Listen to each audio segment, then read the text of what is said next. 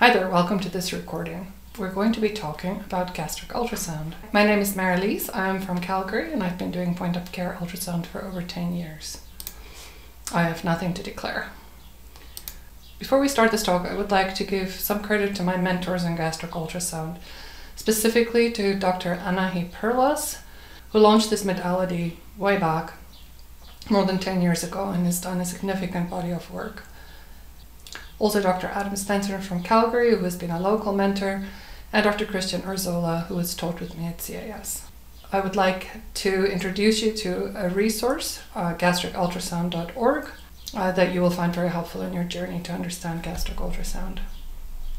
So let's get started on this fascinating topic. Our goals today will be to review anatomy, look at how we acquire the specific images that we need, and then interpret them in both a qualitative and quantitative fashion.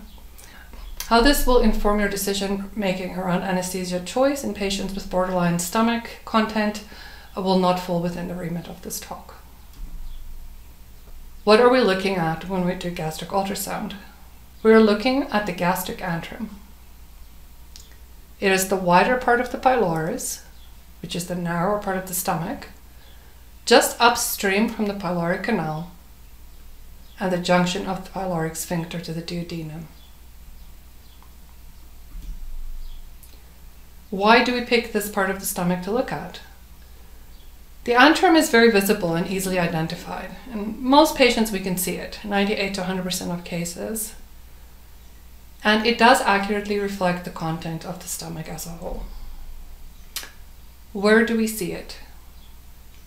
The antrum is found between the liver and the pancreas. And there are very good vascular landmarks, the aorta and inferior vena cava, that can be used to standardize our scanning plane. Let's look a little bit at how we're going to go ahead and do our image acquisition. What probes do we need? How do we position our patient? Where do we put our probe? And how do we identify and fine tune our scanning? For most adult patients, we will use a curved linear probe. In pediatrics or in very skinny patients, sometimes the higher frequency linear probe will do. But for the most part, we need that increased penetration and that the low frequency probe will give us. Our scanning and orientation. Our scanning will take in a parasagittal or sagittal plane. We will hold the transducer so the transducer marker is pointed towards the hand and make sure that you set your marker or your indicator on screen to be on the left side of the screen. With the patient in the supine position, we will now place the probe in the epigastrium immediately below the xiphoid process. We will scan the abdomen in a lateral plane from left to right. Keeping the probe perpendicular to skin, we will identify stomach, liver, pancreas, superior mesenteric artery, aorta, and inferior vena cava. On the left side of the screen, you can see how we hold the probe and what anatomical structures lies immediately beneath the surface. In our middle picture, the cut that is made by the ultrasound probe with the right side of the picture anterior and the left side towards the patient's back. We see here skin, abdominal muscle, liver, antrum, and pancreas. On the right side, we have flipped this picture through a 90 degree angle so that skin is now anterior and the vertebra posterior. If we display this on ultrasound, the picture that you will see on the right will have these structures visible. You will see skin, then muscle, liver, antrum, marked with an A, the pancreas, marked with the P, and the superior mesenteric artery or the aorta, and then the spines at the back. How do we know that the little structure that we're looking at is in fact the gastric antrum? The gastric antrum has a very specific anatomical structure to its wall that makes it pretty easy to identify. We will be looking at five layers. Here in the middle, you can see us zooming in on those layers Light is serosa, then muscularis, which is your thick black layer, your submucosa, your mucosa, and then a mucosa luminal interface. In this box at the top, we would see what that would look like on ultrasound. Once we can identify the antrum, we want to decide whether there's content in the antrum. We want to see if there's anything solid, anything liquid, or whether we have in fact an empty antrum, which is the preferred state. If we find clear fluid, that's when we move on to the quantitative exam and we're trying to establish how much volume there is. So, what does an empty stomach look like? So, very first thing to say is that we have to evaluate this patient in both the supine and the right lateral decubitus position. The stomach can look quite empty in a supine position and yet have liquid and solid content displayed when we evaluate the patient in the right lateral decubitus position. This is what an empty antrum would look like. It's either flat, collapsed, or what we call a, bull, the, a like the round circular shape. Here is another example of what an empty antrum looks like. Uh, empty antrum can actually be quite hard to identify because it sort of disappears. You don't have that lovely cavity that shows you where things are. The easiest one to identify is a gastric antrum filled with liquid. You have this lovely hypoechoic and homogeneous content with a distended antrum that makes it much easier to visualize. Another example of this lovely clear clear, homogeneous, uh, liquid-filled antrum. A patient like this is where we would do quantitative evaluation to see how large this antrum is to try and predict volume in the stomach. This is what a solid uh, gastric antrum looks like. Solid in an early stage and solid in a late stage.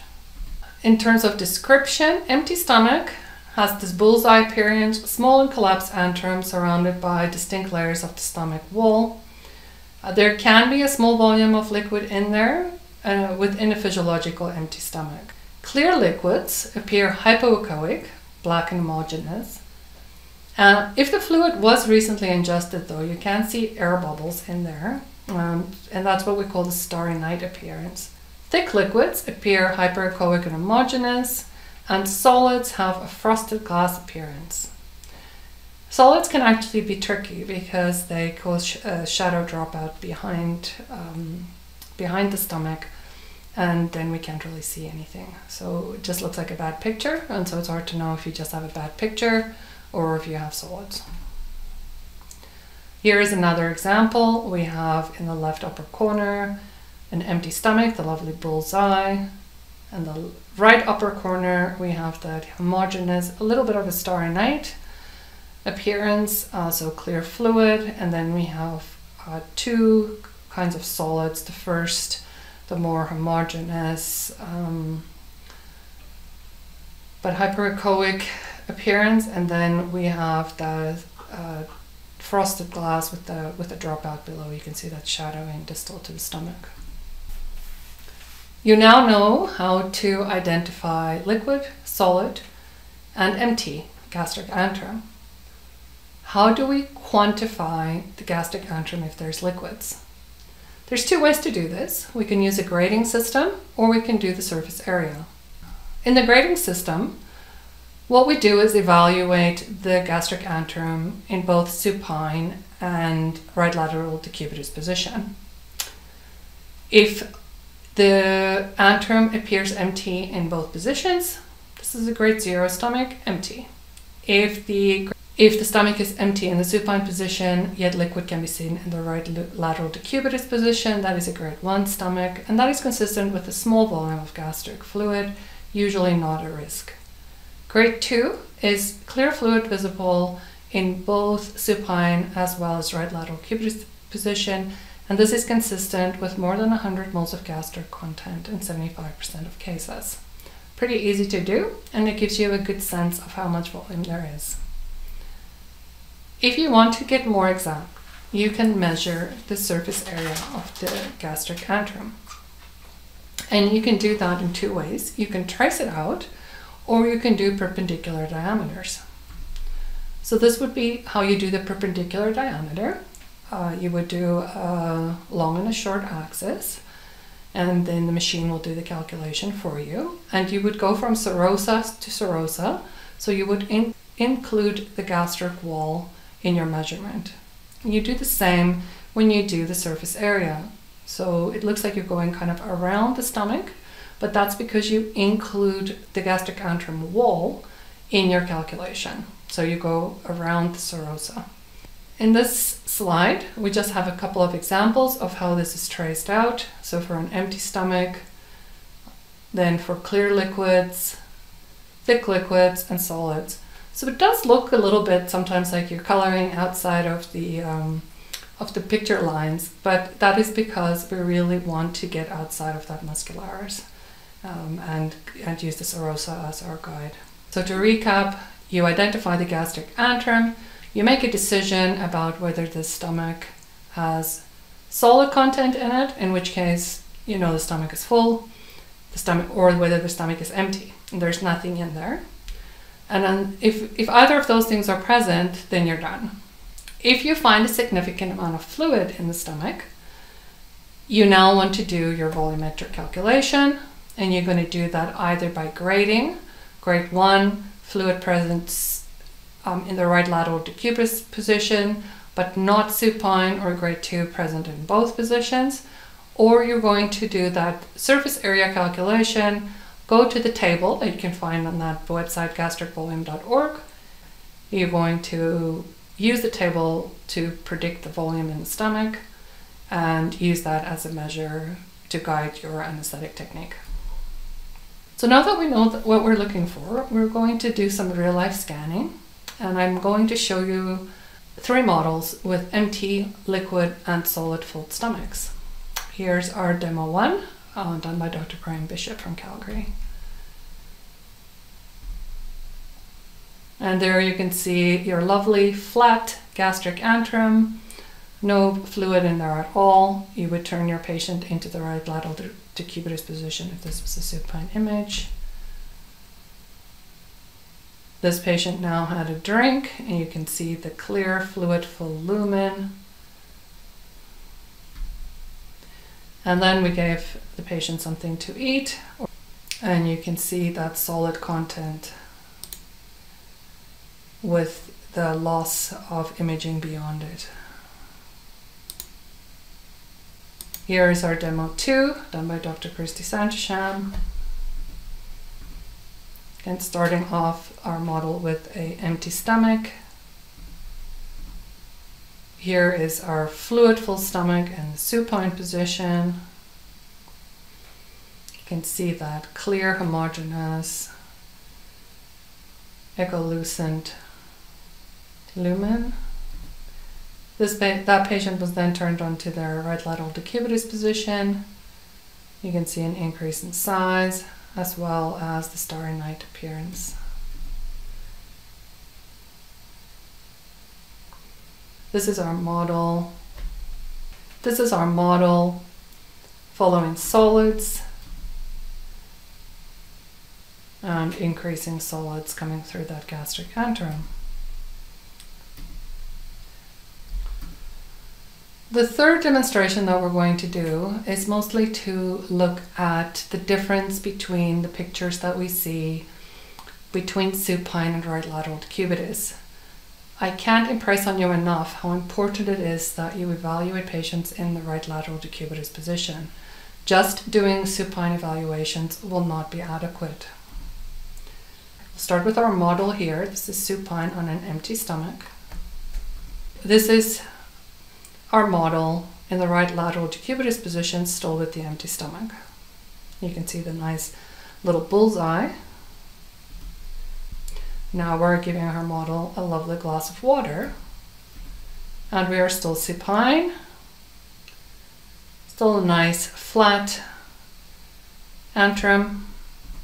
And here you can now see the difference between supine and right lateral decubitus. We have a fair amount of fluid in that antrum. Lovely starry night. I'm now going to give this model a yogurt drink. This is our supine position. you can get an idea that there's something in there, but it's still pretty, it still looks pretty empty. And this is what you see when you go right lateral decubitus. It's completely different. Very, very full stomach there with that homogeneous content that you get with something like yogurt. Next step, we give the model something to eat. And this is supine. Again, you can see the stomach. Con yeah, but this, it's not impressive. Like it's not empty, but certainly not wouldn't be too concerning. And now you turn the patient right lateral decubitus and you can really see that mixture of solid and liquid there. My points of caution, um, your assessment can be very limited if you can't get the patient into a right lateral decubitus position. Your antrum can be difficult to find and assess in about 2 to 3% of normal individuals. And I find that especially in patients that have empty stomachs, it's actually sometimes hard to find the antrum because it's so flat and it just kind of disappears. Your ultrasound findings may be unreliable in patients, or probably will be unreliable in patients who have, have pathology. So, previous gastric surgery, large hiatus hernias, or if you have um, herniation into the chest.